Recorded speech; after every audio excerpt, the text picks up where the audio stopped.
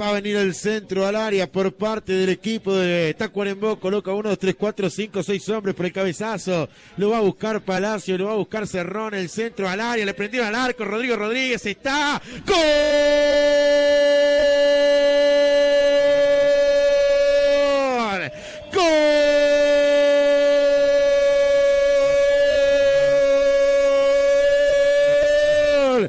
Tacuarembó terminó encontrando la pelota justo dentro del área. El futbolista que aparecía para empujar de Facundo Sosa, que terminó prácticamente en el embrollo, en el lío que había en el área, tras el rebote mandándola a guardar. Y Tacuarembó encuentra el gol a los 12 minutos. Tacuarembó del Norte pone el primer festejo de la temporada. Tacuarembó pone del Norte el canto de Gardel otra vez en escena en búsqueda de ser Gardel en el fútbol de la B. Y cuando hablo así, hablo que Tacuarembó quiere volver a ser protagonista. Tacuarembó está ganando 1-0 sobre Cerrito. En 13 minutos el gol. Segundos antes avisaba Vitancourt de que estaba desatenta la última línea de Cerrito. Muy buena ejecución de pelota parada por parte de Gorgoroso, que ataca de muy buena manera a Facundo Sosa y con el empeño de la colea contra el palo. Hay una excelente tapada del golero Rodrigo Rodríguez, que desafortunadamente da un rebote y vuelve a ejecutar al vertical izquierdo Facundo Sosa, que le da el triunfo de momento a Tocorembo. Sport 890 más. Mucho más.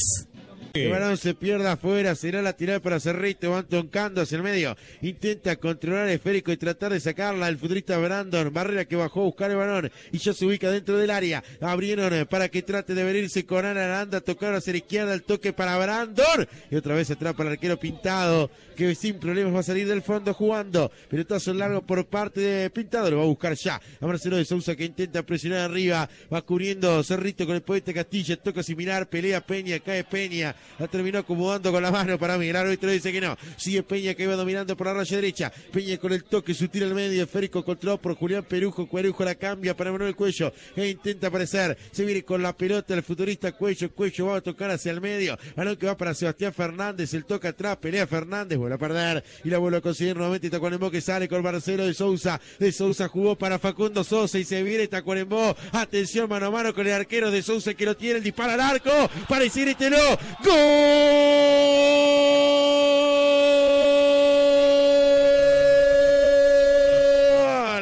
¡Gol!